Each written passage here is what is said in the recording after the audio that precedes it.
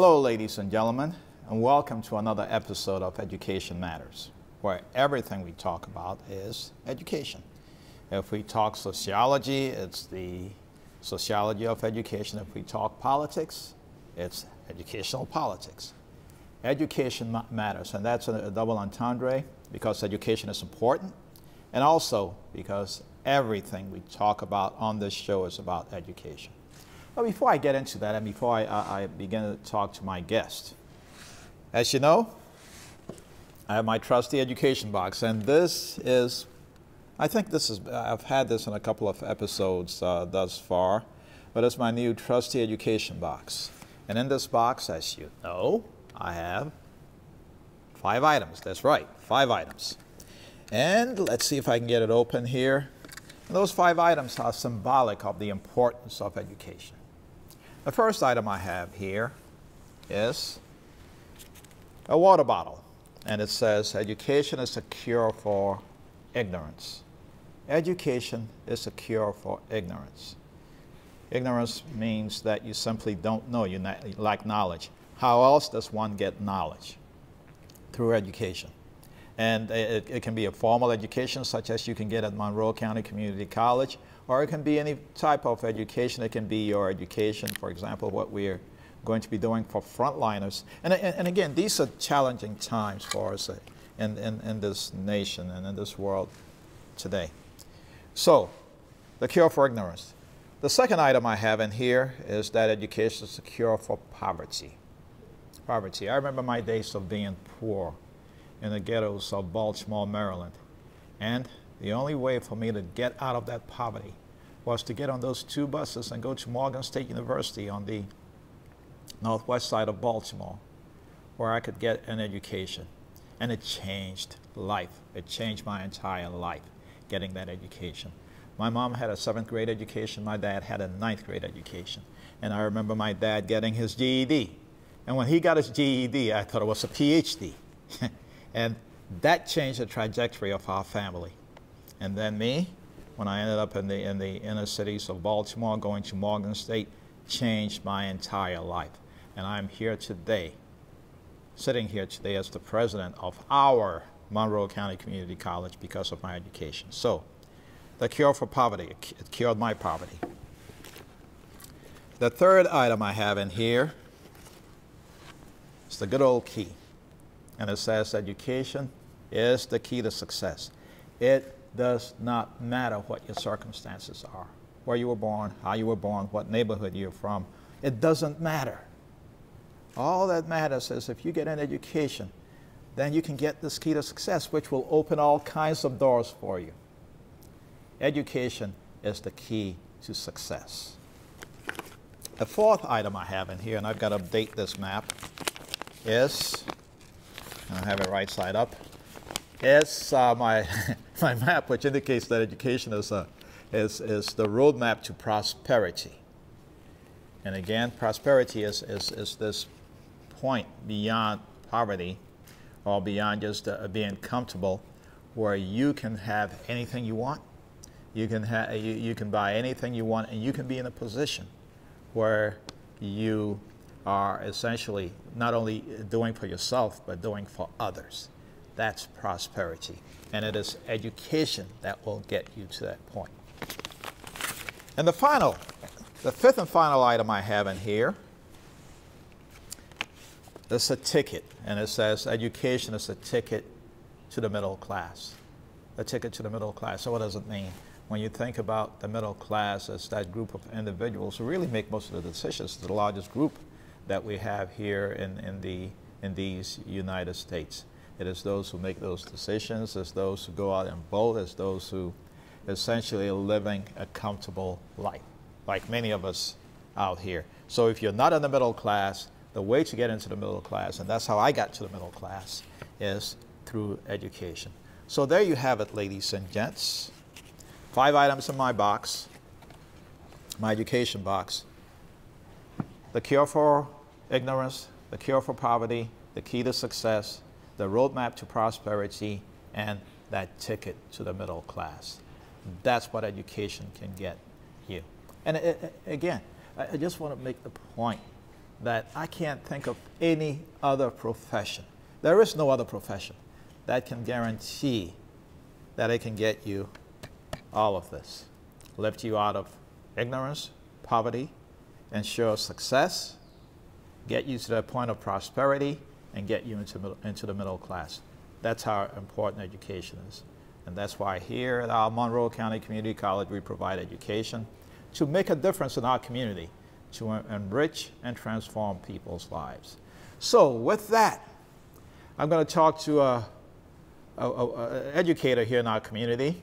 So my guest today is Paul Nollman, who is the Dean of Business and CIS at our Monroe County Community College. Welcome, Paul. Thank you, Kojo. It's great to be here. All right, very good. So, I'll set this education box aside for now, but you know, don't let it get right? too far away. Yeah, from we, we can't. I can't. I can't leave home without it. So, Paul, can you just uh, tell me a little about yourself? Well, you're the you're, you're the dean of business and CIS. And CIS. But Compu before we get to that, right? Computers, computers. All right. But before we get mm -hmm. to mm-hmm. that, and computers are important, by the way. Before we get to that, tell us a little about yourself, if you want to. Anything sure. personal about sure. you? Well, my wife and I live in Lambertville, okay, uh, South County. Um, I love South County. I love South County. Me too. It's a great yes. place to live. My, my, son graduated from Bedford High School, so Bedford we're High fully School. entrenched One of my favorite high schools. in that area. And um, um, I'm in my 25th year here with the community college. Okay. Uh, the last 22 of those have been as a dean of the business and CIS division. Mm -hmm. um, it's been great. It's been more than I could imagine it ever would have been when I started here at the college. Very good. So, in terms of education, your background, what did, where did you grow up? Where did you grow up? I grew up in Maumee, Ohio.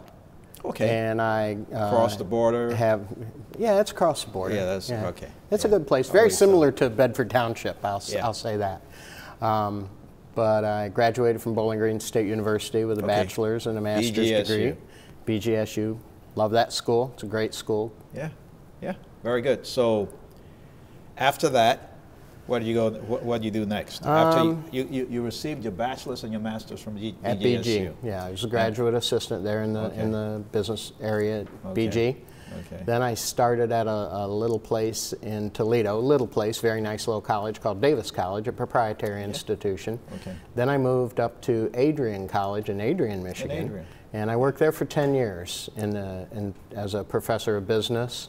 And then I ran the Academic Advising and Career Development Center there. At, at Adrian? At Adrian, okay. right. And then uh, after that 10 years, I Came over here and I, my first position at the college was in the corporate and community services area, uh, doing small business counseling yes. and employment yes. services. Okay. And then the opportunity to move into the business division as the dean came along, and uh, as they say, the rest is history. Yes, yes. And you've been the dean now for how many About years? 22 years. 22 About years. About 22 years. Very yes, good. Sir. Very good.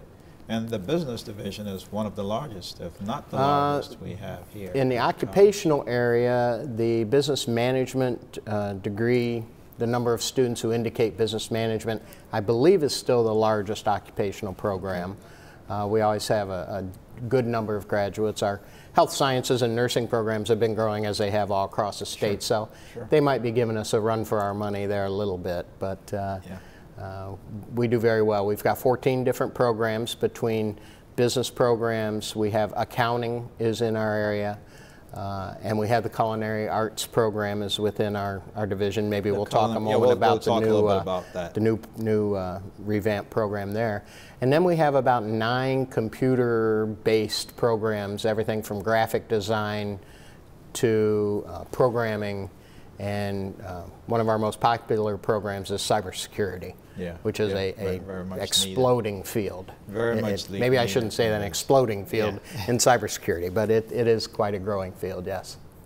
Very good. So, in, in, in terms of your business programs, I understand you have a, um, a certificate program in small business or in entrepreneurship? Right. It's, it's just a four class uh, program, if we'll call it that, and it is a certificate. Okay. And it involves our Intro to uh, Entrepreneurship course, and then we have an advanced uh, small business application course at the end of that. And so um, most students will take those courses on their way to the associate's degree. Sure. Um, we haven't awarded a lot of those, but the ones that do finish it, uh, they find it really helpful and beneficial, and it, it's a good springboard on to the associate degree.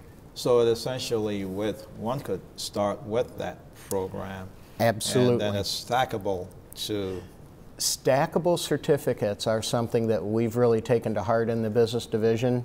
Uh, that's a good one in the business management area. You can get an accounting certificate that then can lead you to the associate degree. Okay.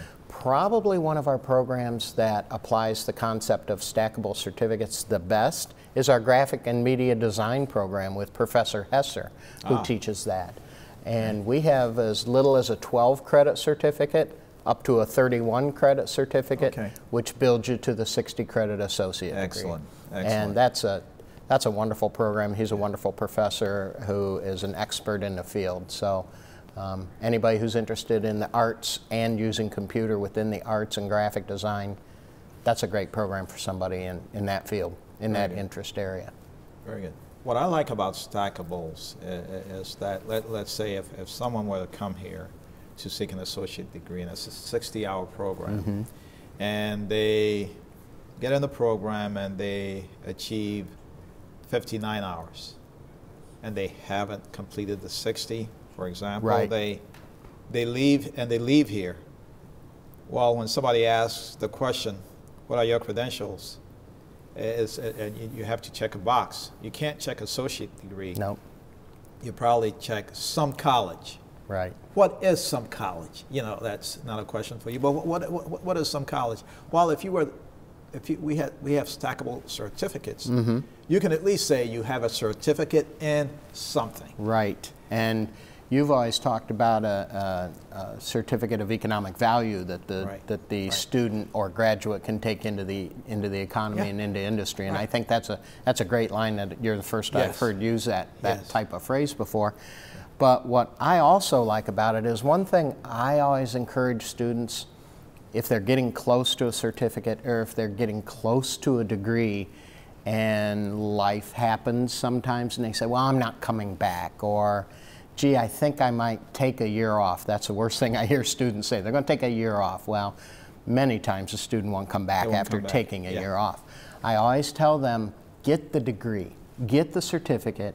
That is something you will have in your back pocket mm-hmm. that no one can ever. Ever take, away from you. Education. No one Education can is a, is a education away lifelong oh, investment. Oh, yes. And that's what the education box helps tell us, right? That's right. That's right. So, essentially, one with with there's a new program, a statewide program called Futures for Frontliners. right. And Futures Right. for Frontliners, if you have individuals out there, and it's it's not only for individuals in the health area, Right. all those individuals who are essentially front frontliners.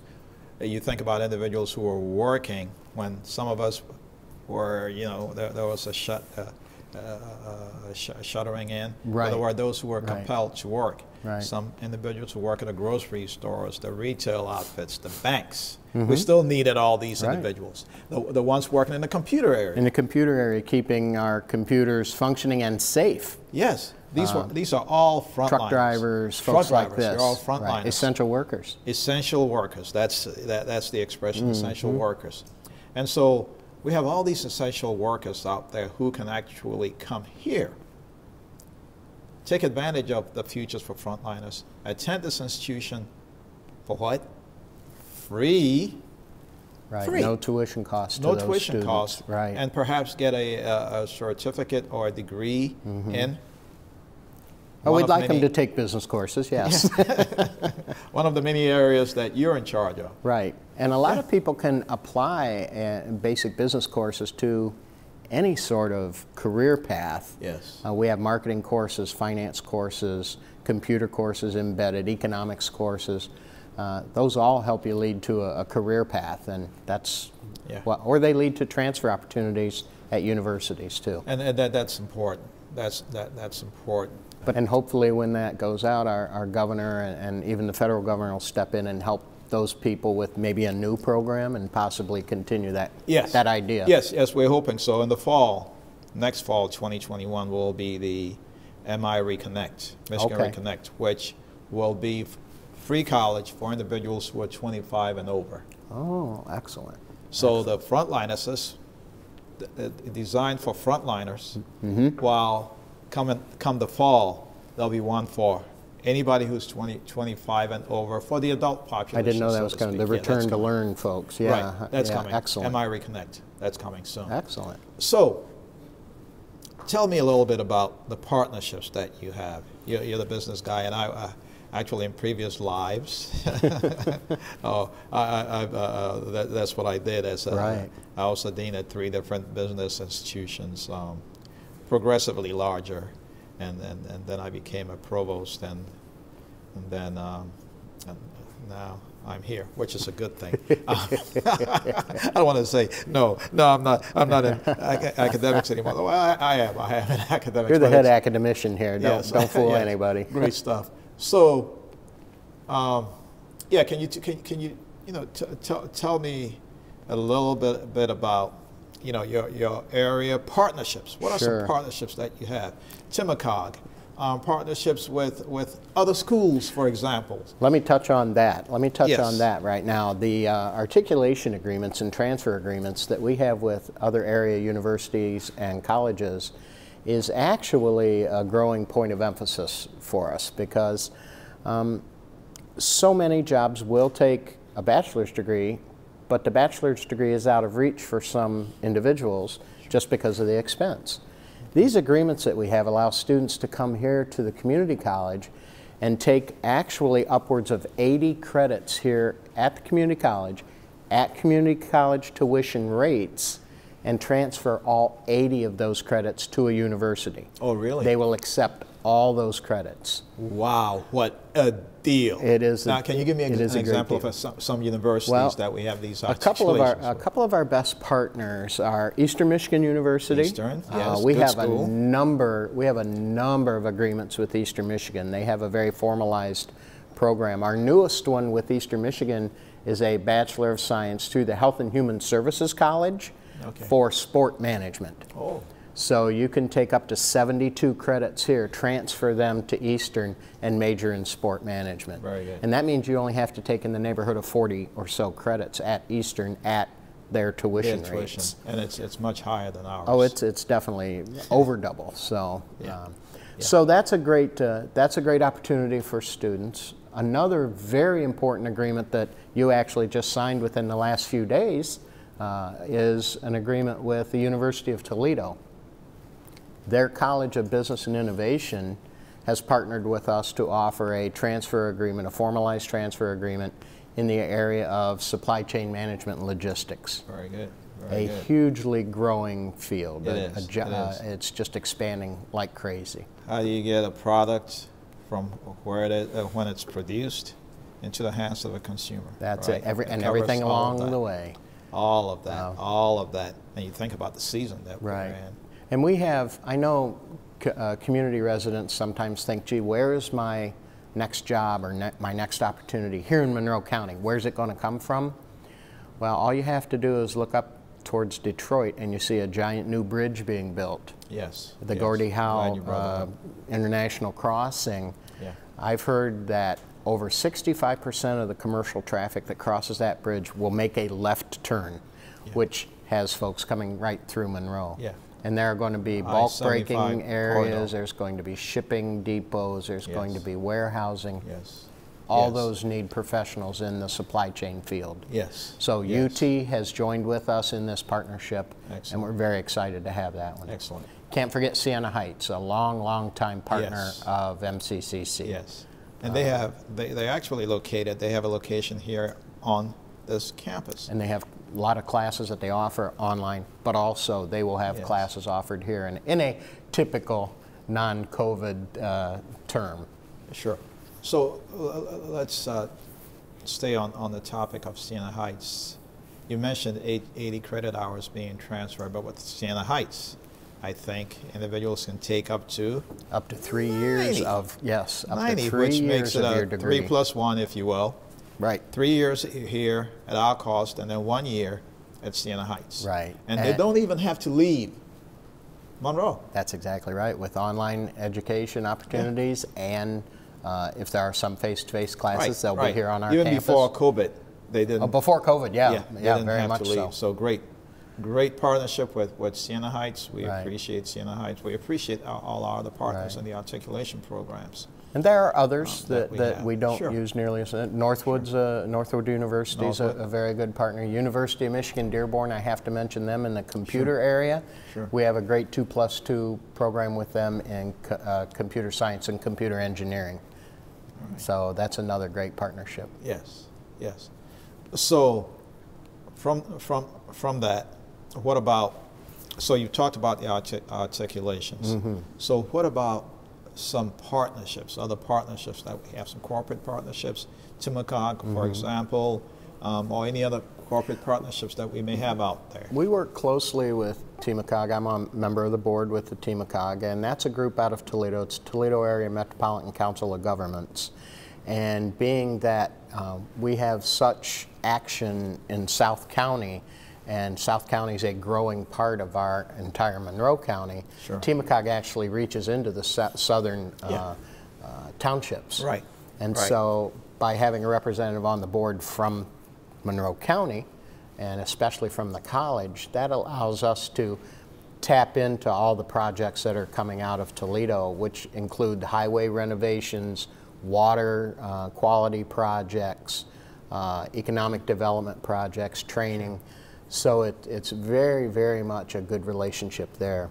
I know you participate in SEMCOG out Right. of, out of the Detroit southeast. region north of us. It's the yes. southeast. Right. So you've been highly involved with that. We work with the Chamber of Commerce closely, Yes. of course, here in the county. Yes. And the Business Development Center uh, Corporation is another important BDC, partner. I serve on the board of the BDC, Right. and, and, and so that's where I want to go next with the Monroe Link Plan, Monroe Link Plan. Yes, which been, is an effort to redevelop it is. Monroe, Right. and, and so you're involved in that now. So I'm can you tell me a little bit the- about that?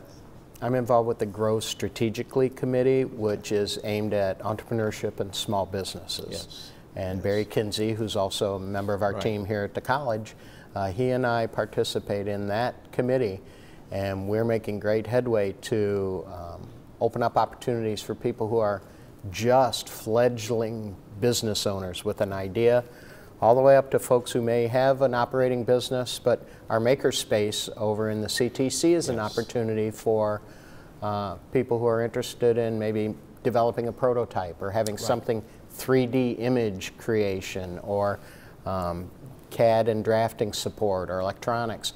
The, the facilities of our CTC can be open to businesses Yes. to come over here Right. and test their idea, do some small manufacturing, uh, proof of concept things. They'll be involved with that.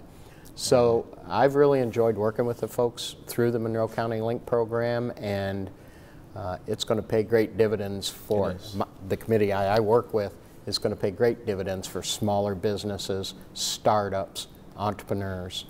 So uh, Excellent. we have good representation there. Very good. And earlier, you mentioned South County, Mm-hmm. Temperance, um, Lambertville. And in South County, we have a location, the Whitman Center. Whitman Center. So, in terms of the Whitman Center and outreach and, and, and uh, to South County, and South County is, a, is an int- integral part of, of, of Monroe County, we, we, we really appreciate our, our, our, people in South County.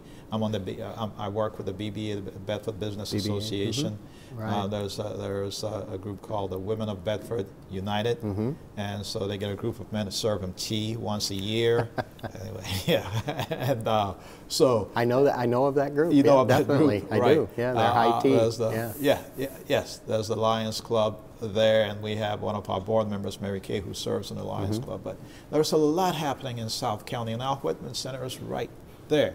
And and South County eh, eh, eh, voted Bedford this time. We, we received 57% of the vote, and I was on a, on a call with them last week or the week before, thanking them Mm-hmm. for supporting our millage renewal.